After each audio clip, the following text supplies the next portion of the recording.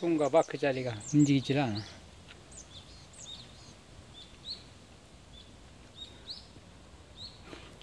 이렇게 이쁜 다람쥐를 산에서 만나기는 참 쉽지가 않은데 오늘 나한테는 행운이네.